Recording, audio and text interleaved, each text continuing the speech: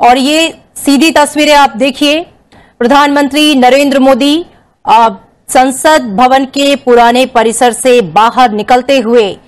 और उनके साथ तमाम केंद्रीय मंत्री सांसद गण आप देख सकते हैं ये तस्वीरें भी अपने आप में ऐतिहासिक हैं क्योंकि ये कदम बढ़ रहे हैं संसद के नए भवन की ओर और, और इतिहास गढ़ने के लिए भारत को विकसित बनाने के संकल्प के साथ एक साथ मिलकर कदम से कदम मिलाते हुए संसद के नए भवन की ओर अग्रसर प्रधानमंत्री नरेंद्र मोदी, साथ में लोकसभा अध्यक्ष ओम बिरला, केंद्रीय मंत्री राजनाथ सिंह, केंद्रीय मंत्री अमित शाह और तमाम सांसद उनके साथ इस वक्त मौजूद हैं। सब साथ में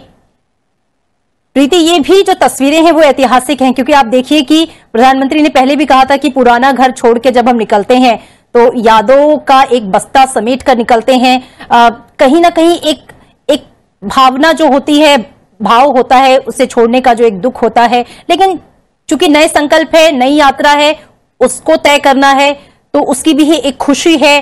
तो ये एक सम्मिश्रण हो जाता है। और ये तस्वीरें देखिए आप संसद भवन परिसर से एक दूसरे से वार्तालाप करते हुए भी मिलते हुए बातचीत करते हुए नई उम्मीदों और नए संकल्पों के साथ